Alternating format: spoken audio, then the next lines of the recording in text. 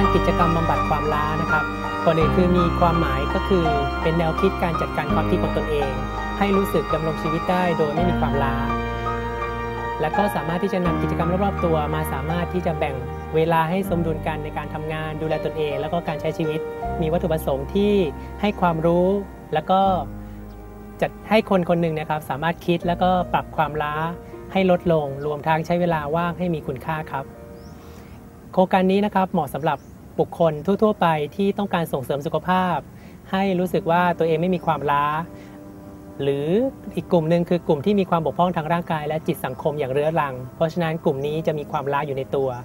รูปแบบของโครงการนี้แบ่งเป็น 3 รูปแบบนะครับ รูปแบบแรกคือบุคคลทั่ว ๆ ไปที่รู้สึกว่าตนเอง เบื่อหน่ายไม่ค่อยมีแรงในการทำงาน เขาก็จะต้องมาประเมินตนเองว่าเขามีความล้าเท่าไหร่จากการใช้ชีวิตเนี่ยนะครับ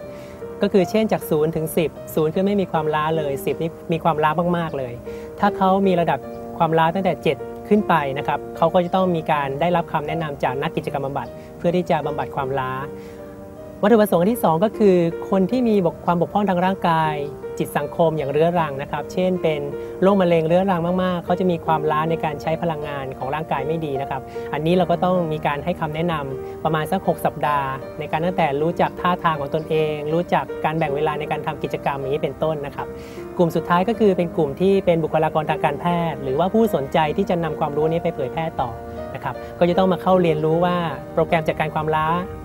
มันเหมาะกับคนไทยอย่างไร และใช้อย่างไงครับผม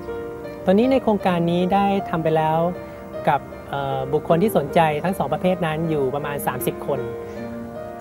ประมาณครึ่งหนึ่งนั้นเป็นผู้ที่บาดเจ็บ หรือมีความป่วยเรื้อรังจากโรคมะเร็งโรคข้อ แล้วก็โรคเบาหวานหรืออื่นๆนะครับที่สามารถที่จะจัดการความรักของตัวเองได้ อีกประเภทหนึ่งคือทางด้านพยาบาล หรือได้ที่นักกิจกรรมบำบัดทั่วไปได้นำความรู้นี้ไปใช้ต่อในคลินิกครับ ก็รู้สึกว่าคนไทยเริ่มรู้จักรู้จักความหมายของความล้ามากกว่าความเครียดมากขึ้น เพราะว่าถ้าเรามีความล้าทางด้านความคิด จิตใจแล้วก็ร่างกายตามมานั้น ก็จะสะสมเป็นความเครียดตามมา เพราะฉะนั้นถ้าเราจัดการที่ต้นเหตุคือความล้าก่อน ก็จะสามารถบรรเทาเรื่องความเครียดได้ครับ ก็พอใจระดับหนึ่งนะครับ เกี่ยวกับโครงการนี้ เหตุผลก็คือถ้าเราถ้าเราจะต้องมีโปรแกรมความล้าจริง ๆ เราจะต้องมีการฝึกบุคลากรทางการแพทย์ให้รู้จักคำว่าความล้าและการจัดการความล้ามากขึ้นกว่านี้ฝากผู้ชมให้รู้จักที่จะประเมินสุขภาพตนเองอยู่เสมอ เช่น วันนี้เรามีความล้าจากศูนย์คือไม่มีความล้าเลยหรือ 10 คือความล้าเต็มที่เลย ถ้าเกิดสมมุติทุกคนมีความล้าประมาณเจ็ดขึ้นไป อันนี้ก็จะต้องเข้าโปรแกรมนี้ครับ